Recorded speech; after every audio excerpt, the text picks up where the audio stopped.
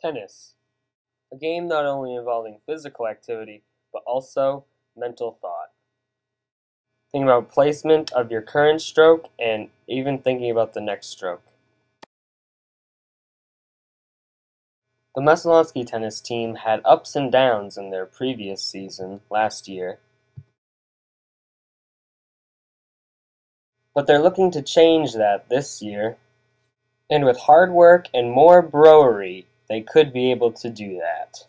There is one man looking to change this, and it is Coach Ed Hinckley. So we asked him a few questions about what he thinks of the team. I think the team uh, has has a lot of potential for the future, and uh, most of the students on the team are young. Because a lot of the team is young, we also asked him what he thought of the tennis teams in years to come. Of course. And uh, I expect that we'll have a pretty strong team next year and a very strong team this senior year. We also asked him what his opinion on the game of tennis was.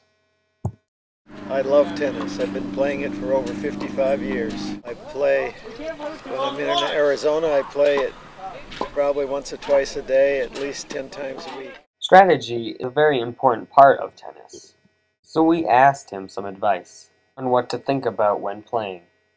And you got to get the ball back on the court more times than the other team. If you can do that, you'll win. Tennis is a game where you have to uh, figure out what the other player is going to do, and then you have to uh, react better than they do. And experience is a very important part of that game. That's the key. Coach Ed Hinckley feels that because the team is young, they have plenty of time to work on things.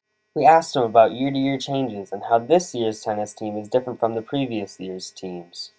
One significant difference is the size of the team this year. This year, there are 22 students on the boys' tennis team. We have been running around 11 to 14, so this is the largest team. We also asked him how the size of this year's team affects his coaching abilities to coach everyone. I wish I had more time to work with the students at the bottom of the of the totem pole. We also asked what his advice was for the team to get better.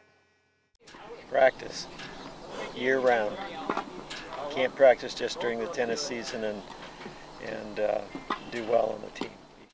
We wondered what his thoughts were on the boys Messalonskee tennis team being the most ethnically diverse tennis team in the whole state. It's fine with me. That doesn't make any difference to me. The most important thing to me is that the kids want to play tennis. And if they want to play tennis, I'll work with them. It's obvious that the important thing on his mind is all about tennis. What What's really important is that people want to play tennis and learn the sport. The coach is all about learning the intricacies of tennis. His final thoughts on the team were something that was truly spectacular. You want to play tennis, it uh, doesn't have anything to do with where you came from, but it has to do with how you play the game. This has been Harrison Goodhue, Visual Media 2 Period 4, Mr. Boardman's Room.